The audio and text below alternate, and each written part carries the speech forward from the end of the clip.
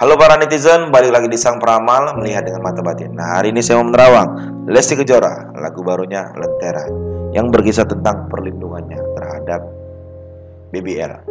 Welcome BBL di dunia entertainment, di dunia keartisan. Oke, Muhammad Leslar Al-Fatih Bilar. Apa yang akan terjadi ke depannya dalam kehidupan Leslar? Mari kita lihat.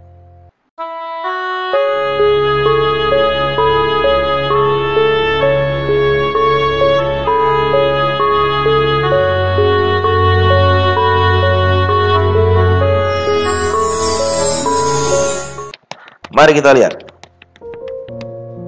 apa yang terjadi. Oke, dalam kehidupan Lesti, Bilar, dan BBL. Kenapa BBL diberikan nama ya Muhammad Leslar Al-Fatih Bilar, nama yang sangat indah. Nah, untuk kecintaannya terhadap fans Leslar, BBL diberi nama ya Leslar. Oke. Buat para fans boleh komen di kolom komentar doakan Leslar ini ya. Doakan Lesti dan Bilar ini. Mari kita lihat kartu yang pertama. Kartu yang keluar adalah Ace of Swords. Kita lihat di sini. Ada pedang yang keluar dari langit dan ada mahkota di atas pedang ini. Nah, saya melihat dengan mata batin saya. BBL ini mendapatkan nama Bilar sebagai legasi, sebagai ya keturunan Bilar dan akan ada keturunan-keturunan yang selanjutnya. Oke, saya pernah menerawang bahwa Lesti ya tak butuh waktu lama akan mendapatkan ya baby lagi ya. Oke, Leslar ini BBL akan mendapatkan adik. Nah, kita buka lagi. Kartu kedua yang keluar adalah The Star. Kita lihat di sini. Ada bintang-bintang dan ada orang yang menuangkan air ke danau. Nah, saya melihat dengan mata batin saya. Cinta dan sayangnya para fans buat Leslar ini, buat Lesti Kejora dan Bilar ini, ya akan mengantarkan BBL Lesti dan Bilar ini ya tetap menjadi bintang, tetap menjadi ya sosok yang fenomenal. Nah, kita buka lagi kartu ketiga yang keluar adalah Three of Cups. Kita lihat di sini ada tiga wanita yang mengangkat cups. Nah, saya melihat mata batin saya, ya, ya seperti terawan saya yang lalu, tetap akan saja ada orang-orang yang tak suka dengan ya kebahagiaan Lesti Kejora dan Bilar ini. Tetap akan saja nanti ada orang-orang yang muncul yang mau yang menyenggol-nyenggol dan menjatuhkan Lesti dan Bilar ini. Tetap para fans ya rapatkan barisan.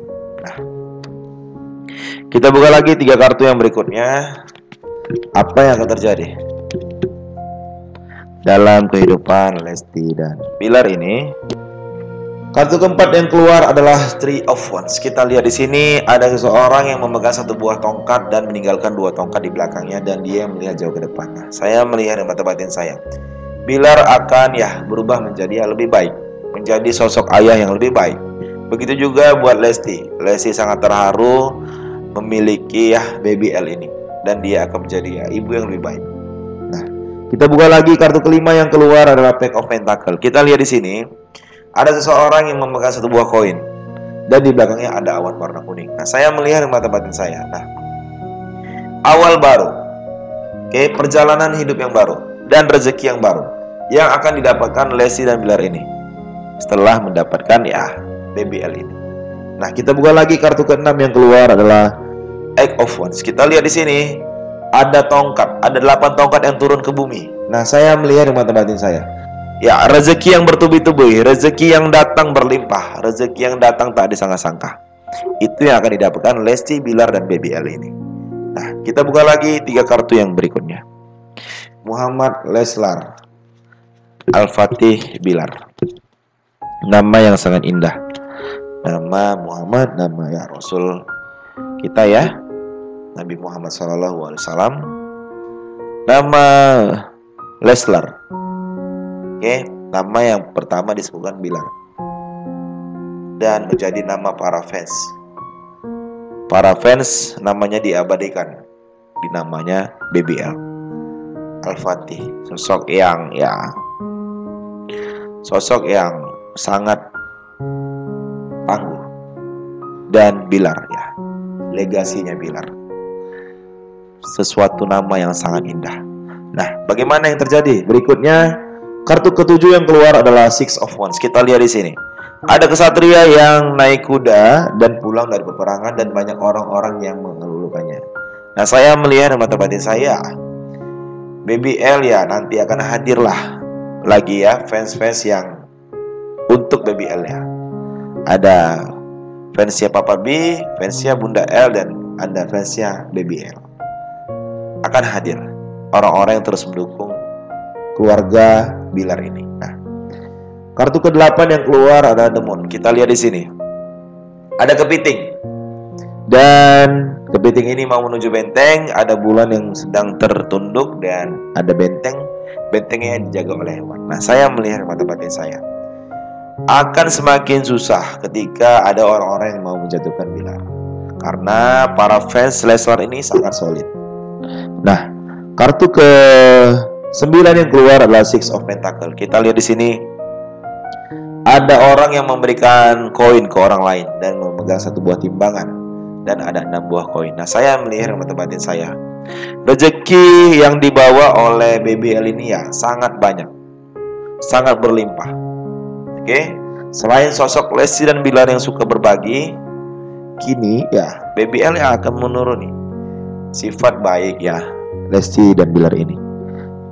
Rezeki yang bertubi-tubi datang menghampiri Lesti dan Bilar ini dan ini merupakan awal awal perjalanan yang baru Lesti Bilar yang memiliki baby L ya, baby yang manis yang tampan ya, mirip seperti Bilar.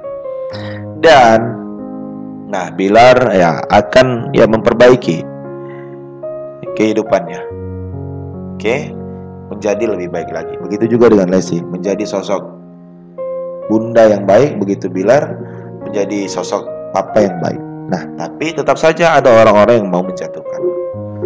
Oke, jauh sebelum ini saya sudah merawat, tetap saja akan ada ya isu-isu yang tak sedap.